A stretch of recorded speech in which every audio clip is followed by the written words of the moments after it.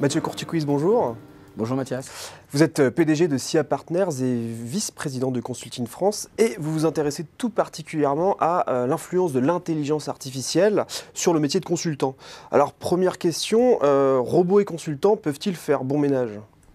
Si on prend un angle un peu plus large, en fait les, robots et les consultants, c'est la même approche que toutes les professions intellectuelles qui sont aujourd'hui traversées par la pénétration de l'intelligence artificielle. Donc ça va les médecins, les professeurs, les avocats, euh, les journalistes. Tout le monde est concerné par euh, l'émergence de l'intelligence artificielle qui a connu un, moment très particulier en 2012 où s'est amorcée la transformation cognitive, c'est-à-dire le moment où euh, les robots ont appris à penser par eux-mêmes.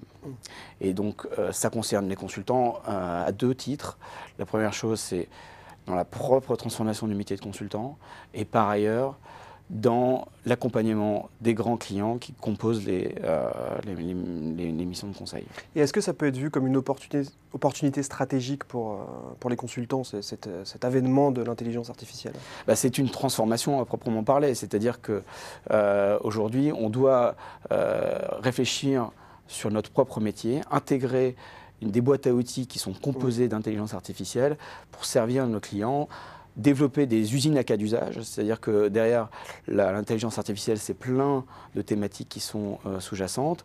Euh, c'est comment on va aider nos clients, par exemple, à optimiser. Alors c'est ce qui fait aujourd'hui euh, peur, puisque c'est là où on voit, c'est la face émergée de l'iceberg en réalité, c'est là où on voit les grands gains de productivité, mais il y a plein d'autres cas d'application. il y a le côté enrichissement grâce à l'intelligence artificielle, on peut avoir des voitures connectées, on peut permettre euh, de développer euh, des nouveaux services, par exemple dans les compagnies d'assurance, euh, qui vont pouvoir travailler sur une meilleure protection face au risque de cambriolage, par exemple. C'est aussi prédire. évidemment, l'intelligence artificielle est utilisée par énormément d'entreprises qui peuvent capitaliser sur beaucoup de données. Je vais vous donner un exemple très concret. c'est qu'aujourd'hui, euh, selon votre comportement d'utilisation de, carte mmh. bancaire, on peut anticiper un an à deux ans à l'avance euh, si vous allez divorcer ou pas. Mmh. Donc ça, c'est des éléments qui sont très importants. Il y a aussi une, forme de prise de décision, une aide à la prise de décision peut-être Alors, il y a la grande prise de décision dans l'entreprise, par exemple, euh, c'est effectivement aider à en fournissant plein d'angles différents euh, euh, pour la prise de décision, mais c'est aussi la micro-décision. Euh, c'est par exemple aider des centres d'appel et, des opérateurs au sein des centres d'appel de connaître les émotions des clients qu'ils ont en ligne et, et, pouvoir assister euh, l'opérateur dans cette détection des émotions.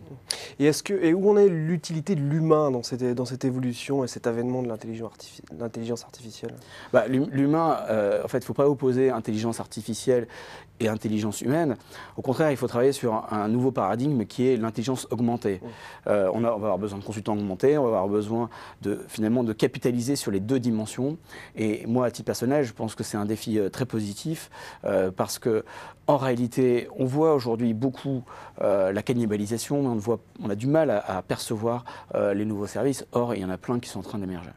Eh bien, merci Mathieu Courtecuisse pour cet éclairage sur euh, les impacts de l'intelligence artificielle sur le métier de consultant. Merci.